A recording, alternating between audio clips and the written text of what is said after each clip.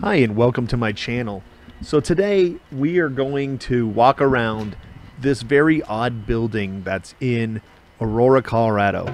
It's called the Ga Dong, G A D O N G 11,000. Um, this building's weird. It, that's the only way to say it. It's like a brown and tan kind of building. Everything in it is Korean or Chinese or something like that. It has like Asian figures on the outside of the building. And so here I'm just going to walk around and I'll point out some stuff. Like there was this odd room right here. There's just a kid hanging out in there. And then to the left here, that is some kind of like Asian skin facial kind of place. There's the place that sells LED lights. And then you notice the just four odd couches sitting on their own.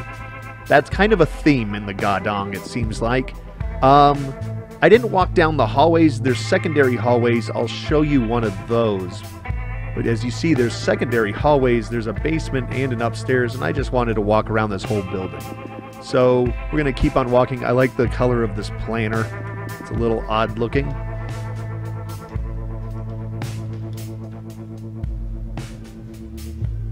So there seems to be two churches also inside this building. One seems to be a African American church, and the other one I believe is like a Korean Pentecostal church or something. I was gonna go down this hallway, and then a guy came out, and he kind of gave me a weird look. So I uh, turned around and just walked downstairs because I didn't. There is for some reason a large amount of security cameras all over this building, um, and then there is like all these signs that say no trespassing so it's it's it's an odd building to say the least. Like there's just that weird table there. There's this guy's he's got paper, he's got a Trump thing, and he was sitting in there and it was just a guy and it was like a room that was almost filled with junk and there was like a desk. So this is the downstairs church, it seems like. Um, at least some kind of a church.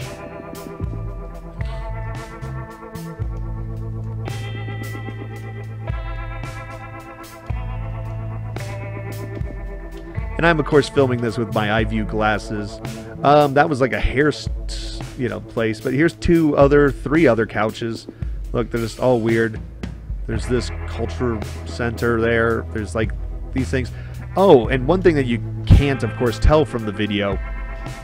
This place smells. It smells bad. Um, it has that kind of thrift store old building smell, and then it also has just like boiled cabbage, gross nastiness smell.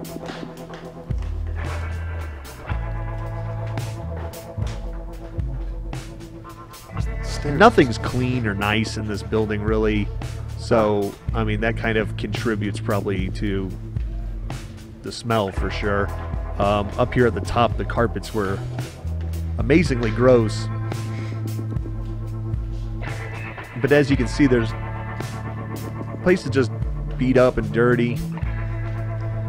This is a massage place right there. Um, yeah, I don't know if I would actually get a massage in this place, but yeah, look at how dirty this carpet is. It is it is just disgustingly gross.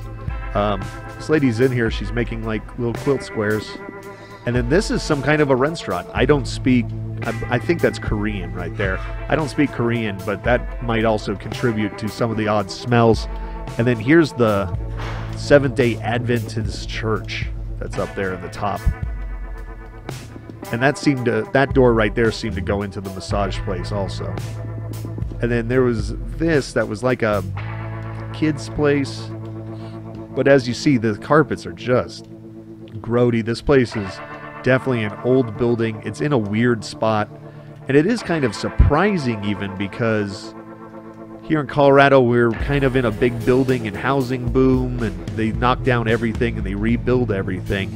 And it's amazing that this building is sitting here in Aurora, kind of. I mean, the building itself actually isn't in bad condition, and you know, maybe you could just fix it up a little bit, you know, kind of make it a little prettier, make it a little nicer.